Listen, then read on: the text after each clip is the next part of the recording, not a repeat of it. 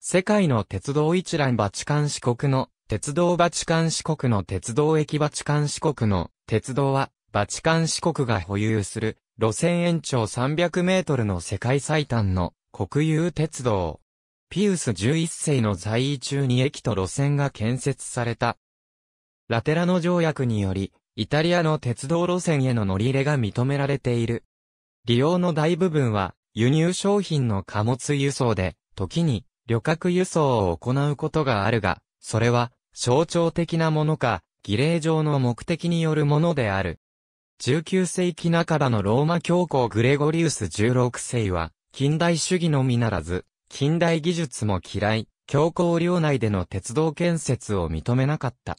彼は、シュマン・デファー、シュマン・リー・アンフェアと述べたと伝えられている。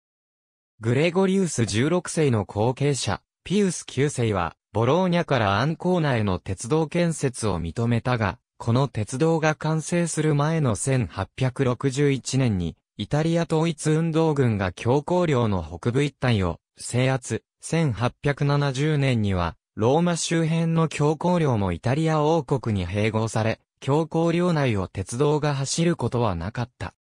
1858年に、フランス南部のルルドに聖母が現れたという、ルルドの奇跡では、鉄道で各地からの巡礼者が押し寄せたことに見られるように、19世紀の後半には、鉄道は巡礼者の重要な足となった。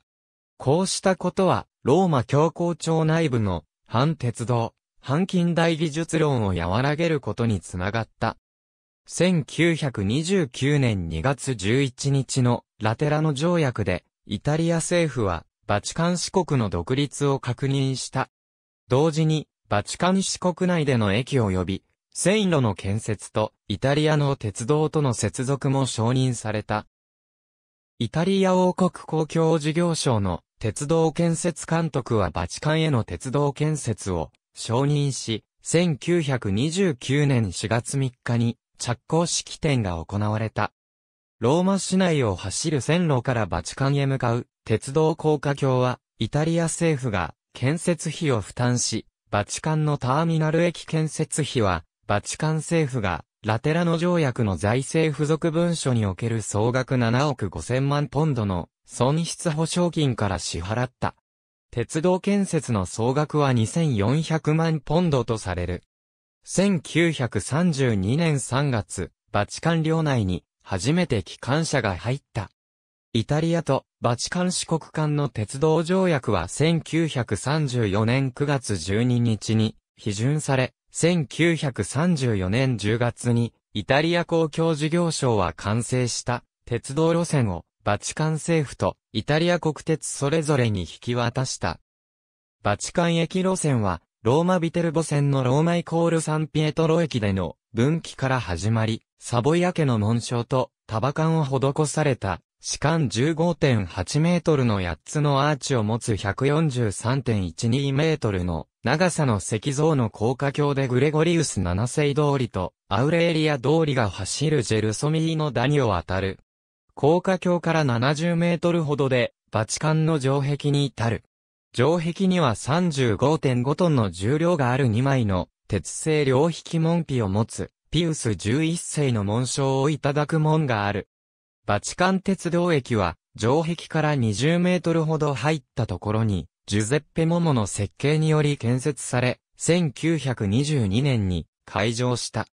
イタリア産の白い大理石で作られた簡素な設計の駅舎を旅行作家の H.V. モートンはまるでロンドンのバークレー銀行の店舗のようだと表現した。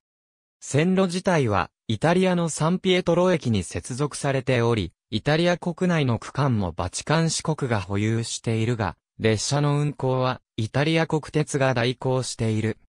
バチカン市国の鉄道は自動車輸送がまだ発達せず割高であった時代には、バチカン市国が消費する物資の輸送用として、主に使われ、自治旅客列車も駅に入っていた。ピウス11世のために計画されていた、強行専用列車は、結局作られず、バチカンが鉄道用の従業員を雇うことも、独自の鉄道車両を登録することもなかった。ピウス9世の使った車両は、ローマ博物館に現在も展示されている。1962年10月4日、ローマ教皇ヨハネ23世は、第2バチカン公会議の開始直前、イタリア大統領専用列車を使って、バチカン駅からロレートとアッシジへの巡礼の旅に出発した。ヨハネ23世はこれにより、初めて、バチカン四国の鉄道を使った教皇となった。同時に、ピウス9世以来初めて、ロレートに教皇として巡礼し、また、ピウス9世以来久しぶりに、列車で旅をした教皇となった。この巡礼は、ユーロビジョンネットワークを通じて、欧州各地で放送され、ピウス9世以後の教皇が、イタリア政府と対立し、バチカンの囚人となっていた、過去のしがらみを断つ、象徴的な旅となった。ヨハネ23世は他にも、1914年に没したピウス10世の遺体をベネツィアへ返す旅に、バチカンの鉄道を使っている。教皇ヨハネパウロ2世は、象徴的な目的を除き数回しかバチカンの鉄道を利用しなかった。